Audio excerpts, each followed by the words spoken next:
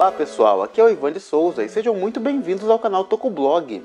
A partir do dia 9 de julho deste ano, 91 companhias ferroviárias nacionais do Japão apresentarão sua campanha conjunta com o objetivo de prevenir a violência nas ferrovias e conta como estrela do Tokusatsu como garoto propaganda.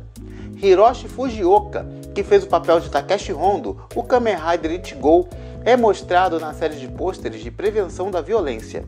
Neles, Fujioka explica como é errado atacar outras pessoas nos trens e que a agressão é crime. Esses pôsteres serão fixados nos pátios das estações de trens.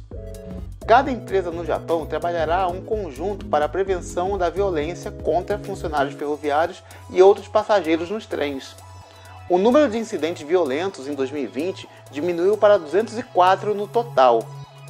Esse é um declínio em relação a 2019, em que o número de incidentes registrados era de 377. Isso pode ter diminuído devido às restrições da Covid-19. O Japão também trabalhou para colocar mais cartazes de conscientização, instalar câmeras de segurança dentro e fora dos vagões, contratar seguranças e treinar funcionários. A violência nos trens continuou a diminuir ao longo dos anos, mas a campanha dessa vez, estrelada pelo ator do primeiro Kamen Rider, espera erradicar de vez o problema.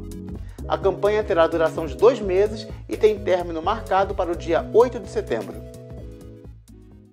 Gostou desse vídeo? Então acompanhe o Tokublog para saber mais informações e curiosidades sobre o universo do Tokusatsu. O endereço é tokusatsu.blog.br. Nos vemos na próxima!